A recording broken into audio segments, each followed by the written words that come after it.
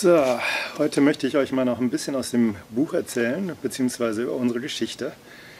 Wir sind also ähm, 1998 hier über die Green Card Lotterie in die USA gekommen.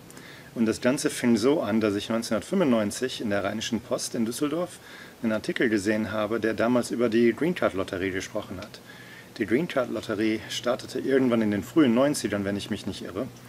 Und ähm, das, äh, oder der Artikel erschien etwa ein, zwei Wochen vor ähm, Ablauf der Einsendefrist für 1995. Und dann haben wir noch ganz schnell ähm, eine Bewerbung fertig gemacht und von Düsseldorf aus ähm, an eine Agentur in Bonn geschickt.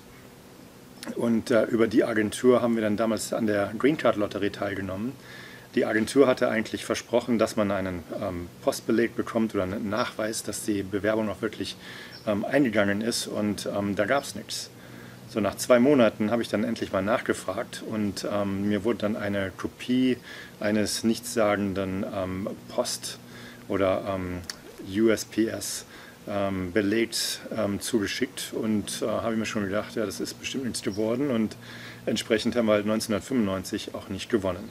Ähm, nachdem ich dann über die Green Card Lotterie Bescheid wusste, ähm, kam dann das Jahr 1996 und äh, wieder im Frühjahr haben wir dann eine Bewerbung fertig gemacht, aber diesmal haben wir die selber eingeschickt. Ähm, ich habe dann damals ähm, zwei äh, Bewerbungen fertig gemacht, eine für Simone, eine für mich und die dann noch an zwei unterschiedlichen Briefkästen in Düsseldorf eingeworfen. Und äh, naja, dann kam im September 1996 plötzlich ein großer brauner Umschlag aus Kentucky für Simone. Simones äh, Bewerbung war tatsächlich in der Green Card Lotterie gezogen worden.